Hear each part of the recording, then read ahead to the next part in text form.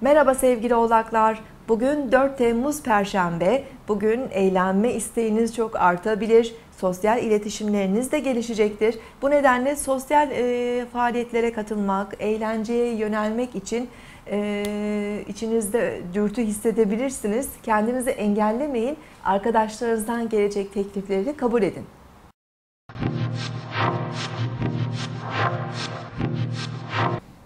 Burcunuzu dinlediniz. Bugün 4 Temmuz Perşembe Jüpiter günündeyiz. Ay sabah saatlerinde Boğa burcunda ilerleyecek. Öğleden sonra 12.23'ten itibaren Ay İkizler burcuna geçecek ve daha hareketli enerjiler vermeye başlayacak.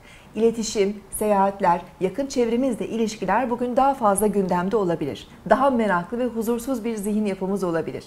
Akşam saatlerinde Ay Neptün arasında kare açı oluştuğunda e, Ay Neptün kareleri biraz yanılgılara, dalgınlıklara e, neden olabileceği için özellikle değişken grup burçların balık, yay, ikizler ve başak burçlarının biraz daha ilişkilerinde temkinli olmaları gerekiyor.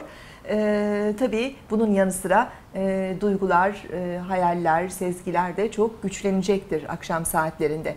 Gün boyu etkili olan bir diğer önemli açıda e, Yengeç burcundaki Güneş ve Koç burcundaki Uranüs arasındaki kare açı olacak. Bu oldukça riskli ve önemli bir açı. Özellikle öncü grup burçları etkileyebilir. Koç, Terazi, e, Yengeç ve Oğlak burçlarının bugün riskli eylemlerden e, biraz uzak durmaları gerekiyor. Çünkü beklenmedik ani durumlarla karşılaşabilirler e, ve dikkatsizlik sonucu kazalar da söz konusu olabilir dikkatli ve temkinli olması gereken bir gündeyiz.